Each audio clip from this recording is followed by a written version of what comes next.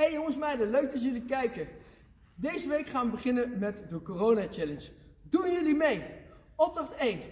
Hou een wc-rol of een ballon, mag je zelf weten, zo vaak mogelijk hoog. Dit kan je natuurlijk doen met je handen. Hiervoor mag je beide handen gebruiken, maar je kan het ook doen met één hand. Om een beetje uitdaging erin te gooien, kan je hem natuurlijk ook met je hoofd proberen zo lang mogelijk op vol te houden. Kijk, lukt mij twee keer. Misschien lukt het jou wel meer. Of natuurlijk met je knieën, mag je zelf weten.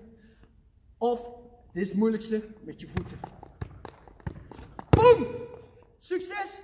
En wij zien graag je filmpje of foto tegemoet. Arrivederci.